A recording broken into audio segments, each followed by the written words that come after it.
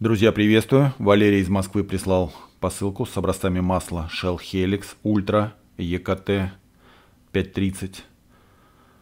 Так, это C3 масло. Значит, вот две баночки. Отработка свежая. И описание автомобиля. Это BMW X3. Трехлитровый дизель. Мотор B57D30A. Совсем свежая, с пробегом 7000 километров. Пробег на масле 5000 километров, 190 моточасов. Так, вот баночки. Значит, эталон данного масла у меня есть. Поэтому я сейчас сравню образец свежего с а, тем эталоном, который есть у меня. Так, давайте посмотрим.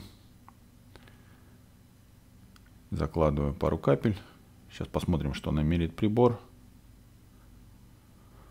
Так, посмотрите, значит, 94 по противоизносным присадкам, 1,69 а, кислотное, 7,9 щелочное.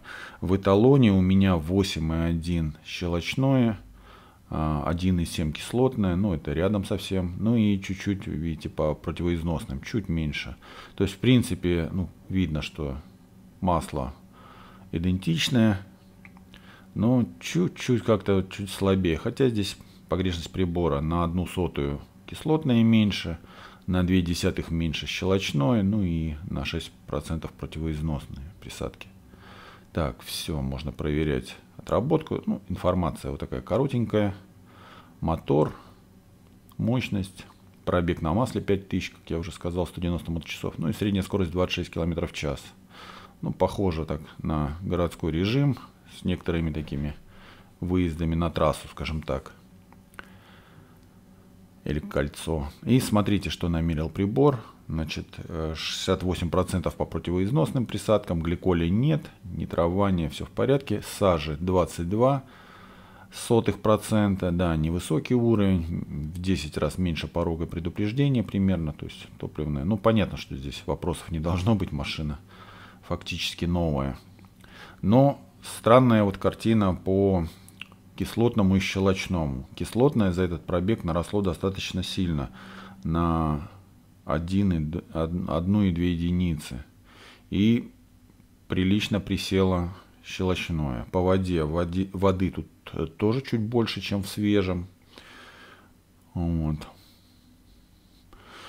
Честно говоря, загадка. Я думал, что должно отработать было получше. Как-то слабовато. Сейчас покажу вам сравнение, потом прогноз и не знаю, поделюсь своими предположениями, почему так. Может быть, я ошибаюсь, и вы поправите меня. Так. Заложил. Ну и смотрите, да, видно городской режим. Есть некоторое небольшое разжижение. Я оценил его в 26% от максимального до красной риски. Ну, это для города нормально. Тем более Москва, там пробки. Такая достаточно невысокая средняя скорость. Так. Да, кстати, не забывайте отметить видео, поставить палец вверх, подписаться, кто не подписался, нажимайте колокольчик, так не пропустите новые видео. И прогноз ресурса у меня получилось по тем данным, а, которые есть как-то совсем слабо. 5,8 по километражу, 220 часов по а, значит, моющим, нейтрализующим свойствам. С нитрованием проблем нет, как видите. Ну, дизеля, да. С вязкостью, ну, вязкость городская, да, наверное, там до 1000 а, моточасов, 730 моточасов. Ну вот вопрос, почему, почему так, а, значит, подсела, подсела этот щелочное и выросло кислотное. Возможно, я вот так думал, возможно, это связано с тем, что машина еще, в общем-то, не прикаталась должным образом, находится еще в режиме обкатки. В масле достаточно много там продуктов износа, вот первые, первое время они присутствуют. Вот, и, возможно, это повышает вязкость, как-то температуру или мотор горячий настолько. Ну, для дизеля удивительно, удивительно. Еще бензин я бы понимал это, но здесь какая-то картина, не знаю, поделитесь предположениями, что такое может быть. Я перепроверял несколько раз, все время цифры, ну, плюс-минус получаются одинаковые. Ну, понятно, что там есть какие-то э, погрешность, но тем не менее. Вот, завис я с этим образцом.